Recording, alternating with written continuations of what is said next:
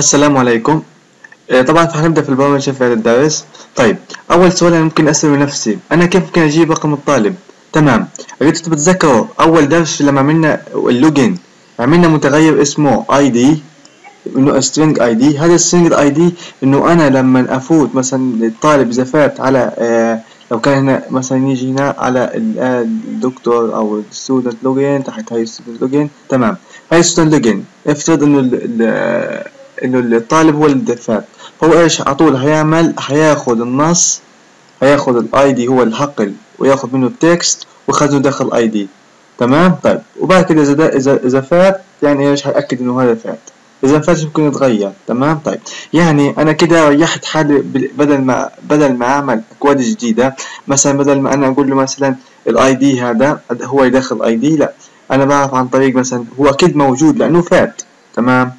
طبعا إذا ما فهمتش كلامي هذا راح نفهمه عن طريق البرمجة طبعا هو يعني كلام يعني مش جديد إنه هو مثلا إذا بس أنا هاخذ ال ID هذا. وال ID هذا وظيفته إنه هو بيكون مخزن لك اللي هو الطالب رقم الطالب اللي, اللي عمل عملية دخول طيب برجع لل profile personally وباجي هنا على ال source طيب أنا بدي أول ما يفتح الصفحة إيش يعمل لي إيه، يعمل لي اللي هي البيانات. طيب أنا إيش ممكن أعمل؟ هعمل دالة اسمها information. Info information. تمام. هذا الدالة information ممكن نديها id مثلا أقول هنا integer أقول هنا id بدها تساوي اللي هي يعني هات لي هات لي من ال login المتغير اللي اسمه id تمام. نيجي هنا نقول له i id تمام. بس هذا متغير بنوع string. أنا ممكن أقول له هنا integer integer dot parse. Dot parse int وأقول له حط لي حول لي هذا ال integer وبعد كده أدي له ال information اللي فيها ال ID. وأجي نعمل وأقول له create. باجي بدرس كنترول واضغط على الدالة. طيب باجي هنا. أول خطوة لازم أعملها لازم أفتح اتصال. فأنا بروح هنا بعمل أمر import. بقول هنا import java.cql دوت اللي هي نجمة هات لي كل الجمل. طيب باجي هنا بقول له connection. Connection. Uh, connection. بقول له هنا إيش؟ كون بده يساوي null. بعد كده بقول له prepare statement. بقول له com بده يساوي null. بس بقول له result set.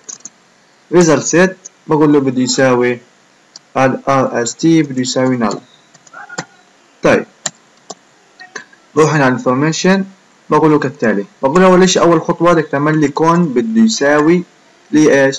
اللي هي عندك connection database اللي هي ال class هذا هات لي منه ال connect الاتصال. تمام. بعد إيش حقول له؟ حقول له أنا بدي أديك جملة SQL تنفذ لي إياها. فأنا بقول له command بدها تساوي اللي هي عندك con dot prepared statement. طب إيش هذه الجملة؟ بقول له select select هات لي نجمه from from من وين؟ من اي من اي من أي جدول؟ بقول له من جدول student فبقول له هنا إيش student. تمام. طب بقول له where شرط. هات لي ال student أنا بدي إياه. فبقول له حسب ال ID بده يساوي اللي هو بقول له single quotation double quotation بس الداز double quotation single quotation وأقول له اللي هي إيش؟ المتغير اسمه ID تمام. باجي هنا بقول له إيش؟ حط لي إيش؟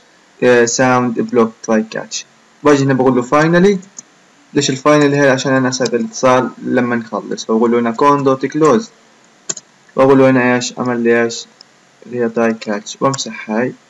وامسح هاي. طبعا هاي اللي بمسحها ممكن يكون مهمات لأنك أنت مبتدئ. فلازم تكون مخليهم عشان لو طلع معك exception إنك تعرف إنه هذه فيها مشكلة تمام؟ طيب. آه نيجي هنا أول شيء نقول له بما أني أنا إنه هذا ال ID موجود يعني أنا متأكد إنه موجود بس خلاص إيش بعمل؟ بعمل rst بده يساوي اللي هي ال command يعني هات لي النتائج كلها. Execute query تمام. بعد إيش حقول له؟ بقول له ال rst dot next.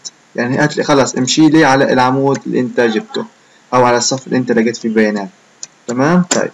يعني أنا فيش داعي إني أعمل له if هل هو يعني موجود ولا مش موجود؟ لأنه أنا متأكد إنه هو موجود. لأنه هو دخل عمل عملية login للحساب تبعه. طيب بعد إيش حقول له حقول له عندك ال name هقول له هنا أول شيء بقول له ID dot set text اللي هو ال labels ال ID طبعا هنا هيكون في مشكلة. فأنا بقول له هنا إيش؟ ID اللي هي مثلا آه D database واقول هنا إيش؟ ID D طيب هنا هقول له ID dot set set text تمام. وش بقول له بقول له من ال rst dot get string. هات لي اللي هي آه القيمة مثلا بقول له إيش هو؟ بقول له العمود الأول. بقول له get string اللي هو العمود الأول. تمام. بعد كده إيش هقول له؟ هقول له هات لي ال name. النيم موجود في أي عمود؟ موجود في العمود الثاني. بقول له عندك هنا إيش؟ بعد بالضبط اثنين طيب بعد ما بقول كمان مرة بقول له إيش؟ هات لي الموبايل. يعني الأمر جدا سهل بس أنت بتاخد بيانات وبتحبيها بقول الموبايل رقم إيش؟ رقم أربعة. وبقول عندك أربعة أو ممكن تكتب النص تبعه. بس أنا يعني الأرقام ممكن تكون أسهل إلي طيب بعد كده إيش حقول له؟ حقول له هات لي للأفرج لل average ال average قديش أنا أخذ أربعة هي خمسة ستة. بقول له هي ستة. طيب بقول له مثلا عندك هنا هات لي لل للجندر. اللي هو رقمه قديش رقم خمسة اللي هي بعد اللي هي هاي الأبر هاي الأبر الجندر خمسة. هنا واحد اثنين ثلاثة أربعة خمسة. وهي ستة؟ طيب بعدين بقول له إيش؟ هات لي required amount. طب بقول هنا required amount. dot set text.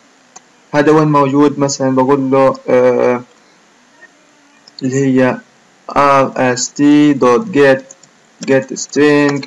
بقول له هنا وين موجود؟ هذا هذا ستة بقول له بسبعة. تمام. طب بعد ما بعد ما أقول له بسبعة هات القيمة إيش بقول له بلس بقول مثلا كده إيش؟ بقول له شيكل. بس يكون مثلا العملة بتكون بالشيكل مثلا. تمام؟ طيب. آه بعد كده مثلا بقول له هات لي ال amount amount المبلغ المطلوب. مثلا بقول له هنا إيش؟ amount آه هنا amount بعد. amount بعد. بقول له هنا إيش؟ موجود في ثمانية بعد كده بقول له اللي هو إيش؟ ال fees. ال fees اللي هي الرسوم اللي عليك ضايل يعني rest rest fees فبقول له هنا موجود في تسعة. تمام؟ موجود هو في تسعة. تمام طيب. كده أنا يعني أنهيت الإشي هذا. بس هاي الكود اللي حيتم تنفيذه آه طيب نيجي نعمل تشغيل البرنامج.